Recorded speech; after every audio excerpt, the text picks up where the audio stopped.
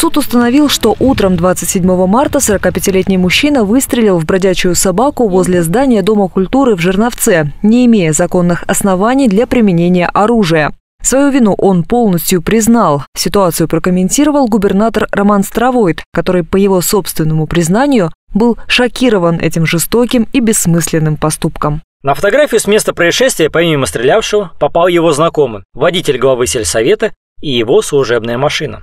Такие коллеги нам не коллеги. Надеюсь, это понимает и глава Золотухинского района, поэтому жду от него реакции на произошедшую ситуацию, учитывая, что уже есть признательные показания стрелявшего. Повторюсь, подобные проявления жестокости недопустимы.